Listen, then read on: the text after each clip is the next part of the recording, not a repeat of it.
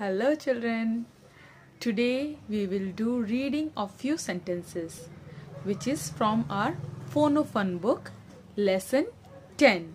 Let's start practice reading. We are at a picnic. We are at a picnic. Together we are at a picnic. So what is picnic children? You all know this is now winter season is coming.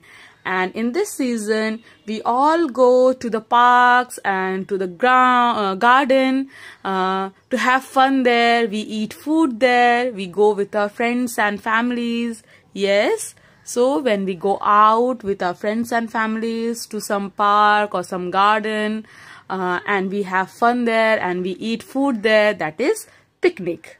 Okay now next line.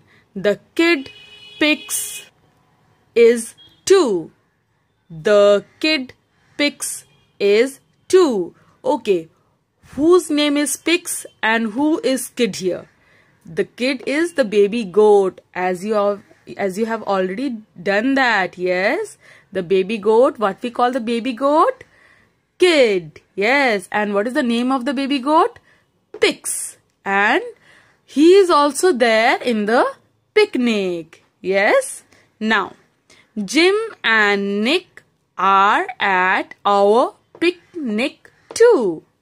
Jim and Nick are at our picnic too. Jim and Nick are at our picnic too. So, who else are there in the picnic? Jim and Nick. They are also there in the picnic. Okay, now next. Jim got six big figs. How many figs Jim got? Six. So whenever anything is more than one, we add S there. Like, is there only, only one fig Jim got?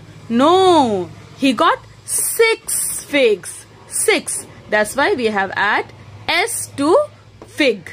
Okay. Jim got six big figs. How many figs Jim got? Six big figs. Yes. And who got the figs? We can say Jim got the figs. Yes. Okay. Next.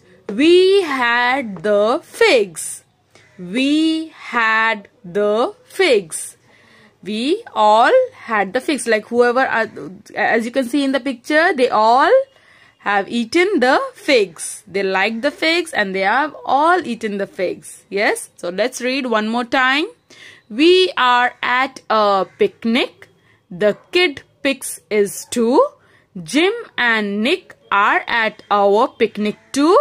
Jim got six big figs. We had the figs.